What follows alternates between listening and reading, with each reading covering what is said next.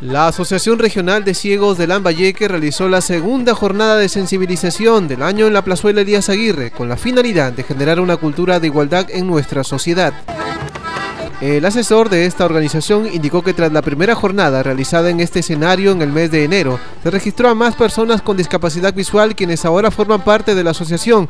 A la fecha, son 70 miembros debidamente inscritos ante el CONADIS. Eh, ya está programado, como le digo, eh, una vez al mes el tema de la de la campaña de sensibilización en la plaza de Aguirre y también una vez al mes el cine inclusivo para personas ciegas.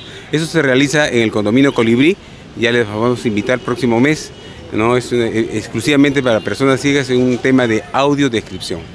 Durante la campaña, los ciudadanos experimentaron por unos minutos lo que siente una persona con esta discapacidad usando un antifaz negro que cubría sus ojos y un bastón.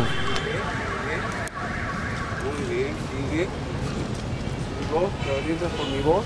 Correcto, está muy bien.